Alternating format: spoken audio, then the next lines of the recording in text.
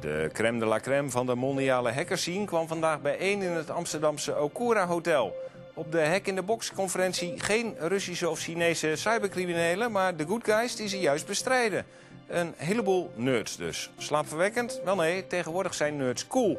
Ze liggen goed bij de dames, worden geheadhunt en verdienen bakken met geld. Hoe cool is het nou om hacker te zijn? Is dat nou iets waar je tegenwoordig vrouwen mee verstuurt in de kroeg?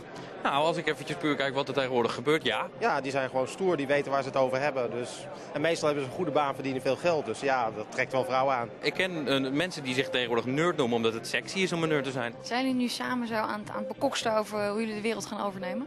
Dat doen we altijd natuurlijk. Zonder hackers eh, ja, had de overheid al je gegevens, altijd. Dus ja, we redden wel een stukje van de wereld. Ik zeg een hacker is eigenlijk soms een beetje de Robin Hood van, eh, van deze dag. Good to be a nerd. Tuurlijk. De